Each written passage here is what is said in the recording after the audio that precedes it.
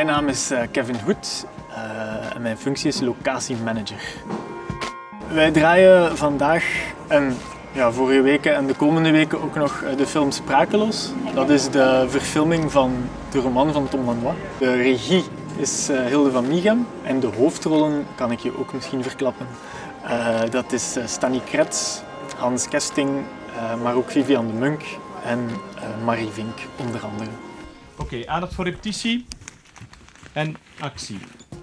We draaien vandaag een scène waarin Stanny met zijn vriend uh, naar de bioscoop gaan en daar een, een, documentaire gaan bekijken. In Antwerpen draaien wij vandaag in de Kaasstraat in en uit, ja, binnen en buiten de Cartoons Cinema. Verder draaien we nog in Café Strange, de oudste homobar van Antwerpen, in uh, Studio Herman Terlink en Park den Brand. Ik ben zeer tevreden over onze locaties hier in Antwerpen. Het is altijd aangenaam om hier, om hier te komen draaien, om te zien dat uw parkeerstrook is afgezet en, met politielint omlijnd. Dus het gaat super vlot voor ons om, om hier te komen.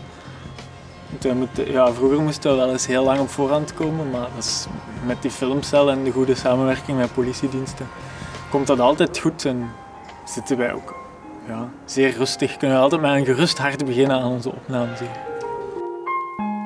Antwerpen is een veelzijdige stad met vele unieke plekjes die regelmatig gecast worden als filmdecor. U herkende Antwerpen ongetwijfeld al in Cordon, De Bunker, Dardenne, Koppers of binnenkort in de nieuwe langspeelfilm Sprakeloos. Wil u meer weten over Antwerpen als filmstad? Surf dan naar antwerpen.be.